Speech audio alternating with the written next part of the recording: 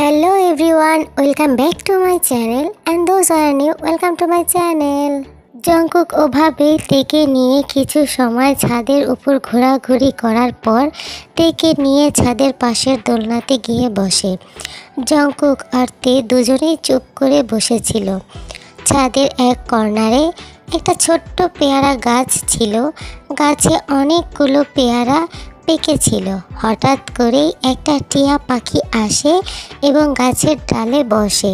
Jungkook আর তে দুজনেই লক্ষ্য করল পাখিটা গাছের ডালে বসে আছে। দুজনেই পাখিটির দিকে তাকিয়েছিল পাখিটা অনেক চেষ্টা করছিল একটা পেয়ারা খাওয়ার, কিন্তু কিছুতেই পাখিটা পেয়ারা ছিঁড়তে পারছিল না তার ঠোঁট দিয়ে। কয়েক সেকেন্ডের মধ্যেই আরেকটা পাখি এসে প্রথম পাখিটার পাশে বসে এবং পরের পাখিটা ঠোঁট দিয়ে পেয়ারা ছিঁড়ে ফার্স্ট যে পাখিটা এসে বসেছিল, তাকে দিচ্ছিল সেকেন্ড পাখিটা পেয়ারা ছিঁড়ে ছিঁড়ে ফার্স্ট পাখিটা ঠোঁটে দিচ্ছিল আর ফার্স্ট পাখিটা খাচ্ছিল। এভাবে পুরো পেয়ারাটা ফার্স্ট পাখিটাকে সেকেন্ড পাখিটা খাওয়াচ্ছিল। তে, এই সিনটা দেখে মৃদু হাসে। জঙ্কুক আর চোখে তীর দিকে তাকিয়ে দেখে, তে পাখি দুটোকে দেখে হাসছে। জঙ্কুক একটু হাসে তেকে হাসতে দেখে জঙ্কুক ভীষণ খুশি হয়। তারপর হঠাৎ করেই জঙ্কুক তেকে বলে ওঠে, কি দেখছ তে ওদিকে তাকিয়ে? তে তো তার ভিতরেই ছিল না, সে আনমনে পাখি দুটো দেখছিল আর আনমনে সে জঙ্কুককে বলে উঠল, পাখি দুটো একে অপরকে খাওয়াচ্ছে, ওদের মধ্যে কতটা ভালোবাসা, দেখতে সুন্দর লাগছে, তাই দেখছি। ও তাই বুঝি পাখি দুটোর মধ্যেকার ভালোবাসা তুমি দেখতে পাচ্ছ। কিন্তু আমি যে তোমাকে কতটা ভালোবাসি, সেটা তুমি বুঝতে চাচ্ছ না। জঙ্কুকের মুখে এই কথাটি শুনে তে পুরোপুরি বোকা হয়ে যায় আর একেবারে চুপ হয়ে যায়। তখন তে মনে মনে বলতে থাকে এটা আমি কি করলাম? আমি এটা কেন বলতে গেলাম? এই মাফিয়াটাও তো আমাকে ঠিক এভাবেই খাবার খাওয়ায়। তখন তে খুব লজ্জা পেয়ে যায় এবং লজ্জায় সে ব্লাশ করতে শুরু করে। জঙ্কুক তেকে বলে, বাহ, আমার কুইনটা, লজ্জা পেলে যে এতটা সুন্দর লাগে, সেটা তো আমার জানা ছিল না। কথাটি বলে জঙ্কুক তার মাথাটা নিচু করে তের মুখের কাছে নিয়ে যায় এবং তের মাথার সাথে নিজের মাথা লাগিয়ে বলতে শুরু করে, তে আমিও তোমাকে অনেক ভালোবাসি। এই পাখিগুলোর থেকেও বেশি ভালোবাসি। আর সেটা তুমি তখনই বুঝবে যখন তুমিও আমাকে ভালোবাসবে। আই লাভ ইউ তে। I love you so much কথাটি শেষ করেই জঙ্কুক তে ঠোঁটে কিস করতে শুরু করে। তে কিছুই বলছিল না। সে জঙ্কুকের ঠোঁটের কিস অনুভব করছিল। এই প্রথমবার তে জঙ্কুককে না করছিল না। জঙ্কুক তো তেকে কিস করেই যাচ্ছে, আর তে জঙ্কুকের নরম ঠোঁটের স্পর্শ অনুভব করছে। প্রথমবার তের ভিতরে অন্যরকম ফিল হচ্ছিল। জঙ্কুকের কিসের সাথে সাথে গরম নিঃশ্বাসের গন্ধ তের খুব ভালো লাগছিল। নিঃশ্বাসের গন্ধে আর জঙ্কুকের কিসের ভিতরে তে নিজেকে হারিয়ে ফেলেছিল। সে নিজের অজান্তে জঙ্কুকের শার্ট ধরে টানছিল, কিন্তু জঙ্কুক এই সমস্ত কোনো কিছুই লক্ষ্য করছিল না। সে শুধু তের ঠোঁটের টেস্ট নিতেই ব্যস্ত ছিল। এভাবে বিশ মিনিট পর জঙ্কক থেকে ছেড়ে দেয় এবং তের কপালে হালকা করে একটা কিস করে। তারপরে তের মুখের দিকে তাকিয়ে একটা স্মাইল করে। তারপর জঙ্কুক থেকে কোলে করে বেডরুমে নিয়ে আসে এবং বিছানায় বসিয়ে দেয়। হঠাৎ করেই জঙ্কুকের মোবাইলে একটি কল আসায় জঙ্কুক কলটা রিসিভ করে। রিসিভ করে ফোনের ও পাশের কথাগুলো শুনেই হঠাৎ জঙ্কুক ভীষণ রেগে যায় এবং রেগে গিয়ে ফোনের মধ্যে চিৎকার করে কথা বলতে শুরু করে। জঙ্কুকের চোখ আর মুখ পুরোই রাগে লাল হয়ে যায়। মুহূর্তের মধ্যেই জঙ্কুক মাফিয়া ফর্মে চলে আসে। জঙ্কুক রেগে গিয়ে তার ডয়ের থেকে গান বের করে এবং রুম থেকে দ্রুত বের হয়ে যায়। তে বিছানায় বসে বসে এই সব কিছুই দেখছিল আর খুব কাঁদছিল। সে ভাবছিল, এই সাইকোটার সাথে আমি কি করে থাকব? কিছুক্ষণ আগে ওকে দেখে আমার ভিতরে যে ভালো লাগা অনুভূতিটা ছিল আর এখন ওকে দেখে সেটা আর নাই। আমি কি করব কিছুই বুঝতে পারছি না। ও একটা সাইকো ও কখন কি করে আর কখন কি বলে সেটা ও নিজেও বুঝতে পারে না। ও গড হেল্প করো। আমি কি করব আমি কিছুই বুঝতে পারছি না। ওর এই রূপ দেখলে আমার ভিতরটা কেঁপে ওঠে আমার ভীষণ ভয় হয়। তে এসব ভাবতে ভাবতে খুব কান্না করতে থাকে। হঠাৎ করেই তে ডোরের নখ হয় তে দরজার দিকে তাকাতেই দেখে মেট এসে দাঁড়িয়ে আছে। May I come in ma'am? Yes coming তখন মেড সার্ভেন্টদের ইশারা করতেই সার্ভেন্টগুলো অনেকগুলো শপিং ব্যাগ নিয়ে রুমের ভিতরে ঢোকে। অনেক সুন্দর একটা স্ট্রবেরি কেকও ছিল। সার্ভেন্টরা এগুলো রেখে রুম থেকে বের হয়ে যায়।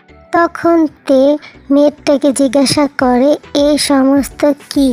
ম্যাম স্যার আপনার জন্য এই সমস্ত কিছুই পাঠিয়েছে এবং আপনাকে বলেছে, এখান থেকে যে ড্রেসটা আপনার পছন্দ হয়, সেটি যেন আপনি পরেন। স্যার, বিকেলের মধ্যেই বাসায় চলে আসবে। ম্যাম, আপনি রেস্ট করেন, আমি আপনার জন্য লাঞ্চ তৈরি করে রুমে দিয়ে যাচ্ছি। একথা বলেই মেড ওখান থেকে চলে যায়। তো শপিং ব্যাগগুলো খুলে দেখতে থাকে। প্রত্যেকটা জিনিসই অনেক এক্সপেন্সিভ আর অনেক সুন্দর ছিল। ড্রেসগুলো তের খুব ভালো লাগে। তে বসে বসে ড্রেসগুলো দেখছিল। হঠাৎ করে মেড আবারও এসে দরজা নক করতে শুরু করে। তে মেয়েদের দিকে তাকায় আর বলে আপনি আবার কেন এসেছেন? কোনো কিছু কি প্রয়োজন? ম্যাম স্যার আপনার সাথে কথা বলতে চায় এ কথা বলেই মেড তেকে একটা ফোন দেয় আর ওখান থেকে চলে যায়। তে ফোনটা কানে নিয়ে hello I miss you sweetheart I miss you so much আমি তোমাকে অনেক মিস করছি। সুইটার্ট আমার গিফটগুলো কি তোমার পছন্দ হয়েছে? তোমার ভালো লেগেছে? আমি তোমার জন্য তোমার পছন্দের স্ট্রবেরি কেক পাঠিয়েছি। ওটার টেস্ট তোমার ভালো লেগেছে সুইটার্ট জঙ্ককের এই রকম আচরণে পুরোই অবাক।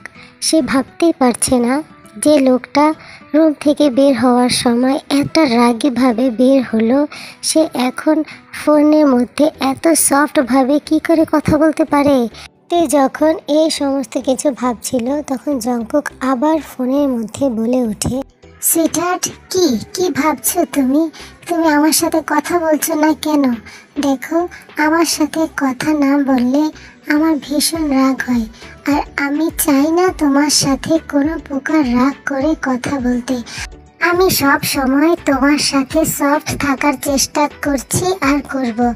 দয়া করে তুমি আমাকে রুট হতে বাধ্য করো না। প্লিজ আমার সাথে কথা বলো। আমার পাঠানো গিফটগুলো কি তোমার পছন্দ হয়েছে? তে চাচ্ছিল না কোনোভাবেই জঙ্কুকে রাগাতে তাই তে বলে উঠল হ্যাঁ পছন্দ হয়েছে। গ্রেট লাভ তুমি রেস্ট করো আমি খুব শীঘ্রই তোমার কাছে চলে আসব ঠিক আছে? কথাটি বলে জঙ্কুক ফোনটা কেটে দেয়। তখন মেট তের হাত থেকে ফোনটা নিয়ে নেয় আর তেকে বলে, ম্যাডাম, আপনি ইচ্ছা করলে রুম থেকে বের হয়ে পুরোটা ম্যানশন ঘুরে দেখতে পারেন। এটা তো আপনারই ম্যানশন এখন থেকে আপনি এই ম্যানশনের মালকিন, আপনি যেখানে ইচ্ছা সেখানে যেতে পারেন আর যা ইচ্ছা তাই করতে পারেন। শুধুমাত্র ম্যানশনের বাহিরে আপনার যাওয়ার কোনো পারমিশন নাই। তারপর মেড রুম থেকে চলে যায়। তে মেডের কথায় একটু বিরক্ত হয়, তারপরে সে আর কি করবে? একটা রুমে কতক্ষণই বা বসে থাকা যায়? সে রুম থেকে বের হয় আর নিচে যায়। নিচে গিয়ে সে কিছু সময় লিভিং রুমের সোফাতে বসে, পর সে পুরো বাড়িটা ঘুরে ঘুরে দেখতে থাকে। বাড়িটার প্রত্যেকটা জিনিস খুব চমৎকারভাবে সাজানো গোছানো ছিল আর খুব এক্সপেন্সিভ ছিল। তে প্রত্যেকটা জিনিসই খুব ভালোভাবে দেখে এবং পর্যবেক্ষণ করে। তের খুব ভালো লাগছিল। সে এক মুহূর্তের জন্য ভুলেই গিয়েছিল, এখানে সে কীভাবে এসেছে আর কি হচ্ছে তার সাথে। সে খুব আনন্দের সাথে বাড়িটা ঘুরে ঘুরে দেখছিল। এভাবে সারাটা দিন তের কেটে যায়। বিকেলবেলা তে জঙ্ককের দেওয়া ড্রেসগুলো থেকে একটা সুন্দর ড্রেস পরে এবং নিজের অজান্তেই জঙ্গকের জন্য অপেক্ষা করতে থাকে।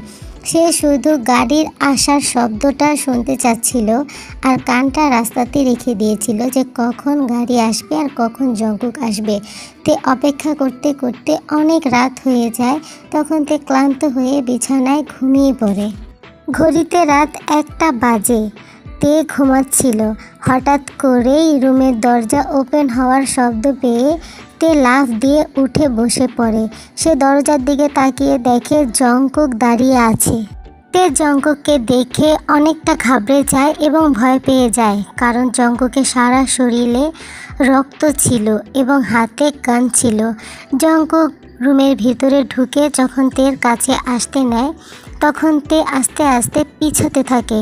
তখন জঙ্কুক লক্ষ্য করে, তে ওকে দেখে ভয় পাচ্ছে।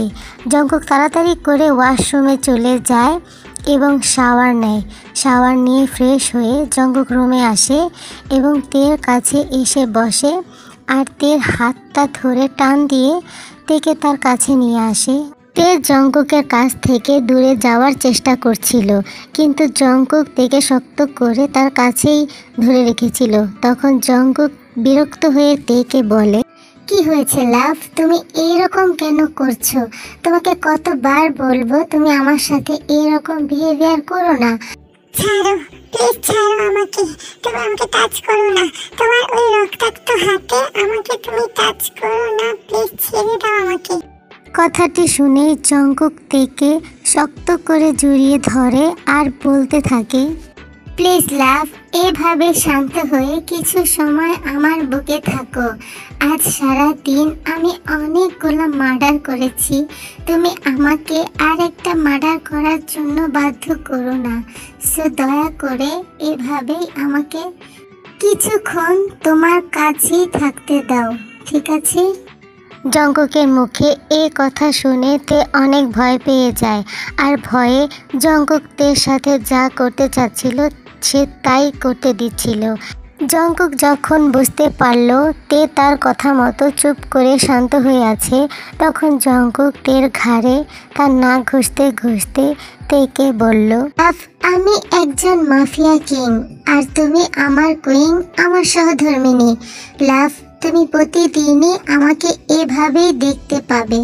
তাই তুমি যত দ্রুত সম্ভব এই বিষয়টাকে নর্মাল ভেবে অ্যাকসেপ্ট করে নাও, তাহলে আমার সাথে থাকতে তোমার সহজ হবে। কারণ আমি চাই না তুমি আমাকে দেখে ভয় পাও আর আমার কাছ থেকে দূরে সরে যাও।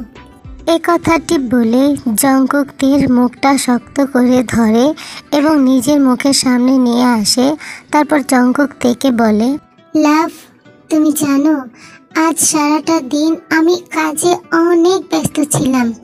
এত ব্যস্ততার মাঝেও আমি আমার মন থেকে আর মাথা থেকে তোমাকে সরাতেই পারছিলাম না। আমি তোমাকে সারা দিন খুব মিস করেছি। Love do you miss me শোনো, বারবার আমাকে লাভ বলা বন্ধ করো। আমি তোমার লাভ না, আর আমি তোমাকে মিস করি নাই। তুমি আমাকে আবার রিজেক্ট করলে। আমি তোমাকে কতবার বলব, কেউ আমাকে রিজেক্ট করে না। আর আমাকে কেউ রিজেক্ট করুক, সেটা আমি পছন্দ করি না। এখন এর জন্য তোমাকে পানিশমেন্ট পেতে হবে লাভ আর হ্যাঁ তুমি আমার লাভ তুমি চাইলেও আর না চাইলেও। কথাটি বলেই জঙ্কুক তেকে বিছানায় শুয়ে দেয় এবং সে নিজেও তের উপরে উঠে শুয়ে পড়ে। কি কি কি করছ কি তুমি? তুমি নামো আমার উপর থেকে। তুমি আমার উপর থেকে নামো, তুমি প্রতিবার আমার সাথে এইসব জোর করে করতে পারো না। একশো বার পারি, হাজার বার পারি। আর তাছাড়া লাভ সারা দিন আমি তোমাকে অনেক মিস করেছি। এখন আমি তোমাকে অনেক আদর করতে চাই। সো তুমি তোমার বন্ধ রাখো। আর আমি যা করতে চাচ্ছি সেটা আমাকে করতে দাও। কথাটি বলেই জঙ্কুক তের ঠোঁটে কিস করতে শুরু করে।